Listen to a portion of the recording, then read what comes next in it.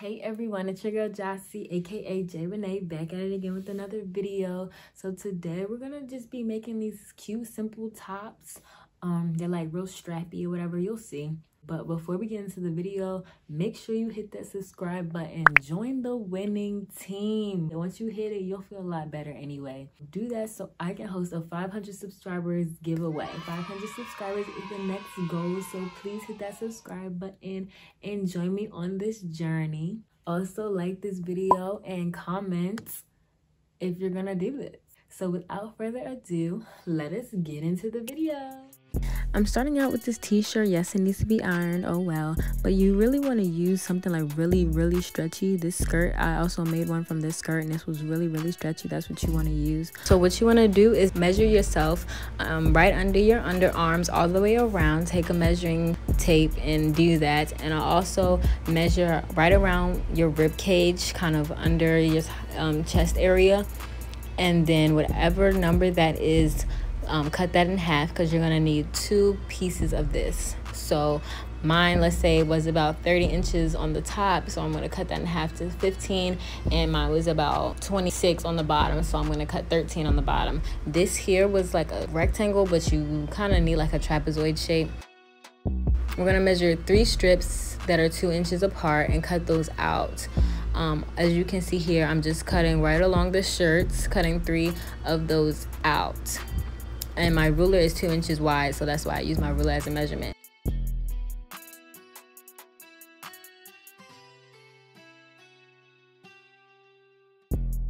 So I'm gonna cut the bottom two just on one side and the top one on both sides because I'm going to use them for the straps as well. So now we're gonna just have two straps.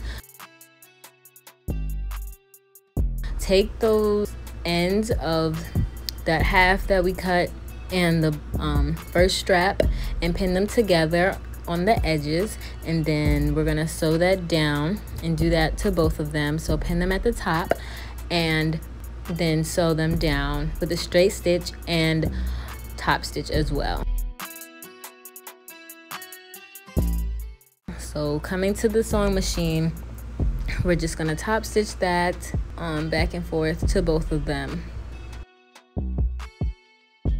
and then so here we're gonna fold the edges inward. This is the same strap. Fold them inward and then fold it in half again as you saw there. So fold it twice basically. So we're gonna make these long straps. So this is gonna be really long. It's gonna take a minute.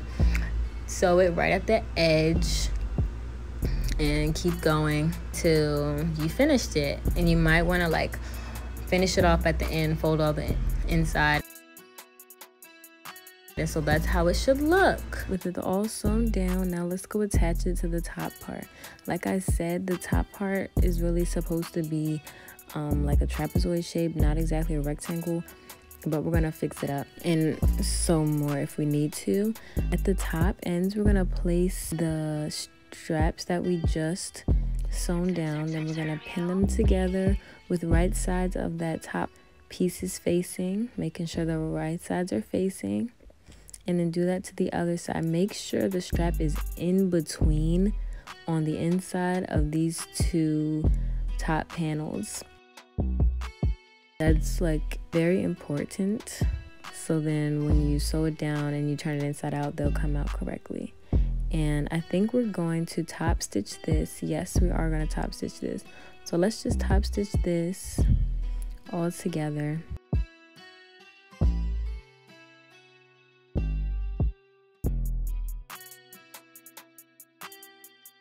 all together on both sides.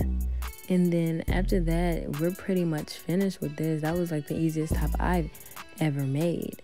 And so that's how it should look. And now we are all ready to try these bad babies on. I made a couple so you'll see a couple in these.